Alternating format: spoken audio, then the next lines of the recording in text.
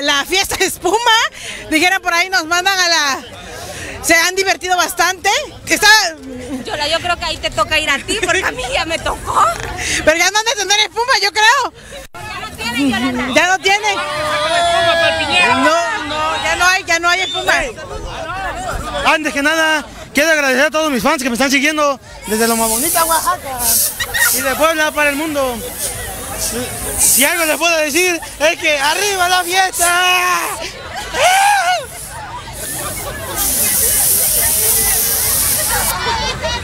Eso, yo creo que eso te pasó por ese rato no acompañarme. La verdad creo que Yo soy, yo soy ciega y ya me pusieron más ciega.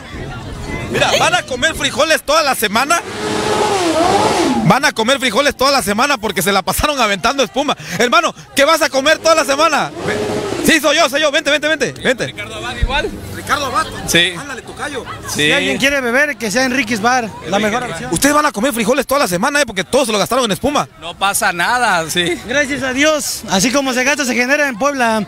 Eso. Todos los que quieran vivir, todos los que se quieran morir, mejor que no nazcan. Exactamente, ahí estamos.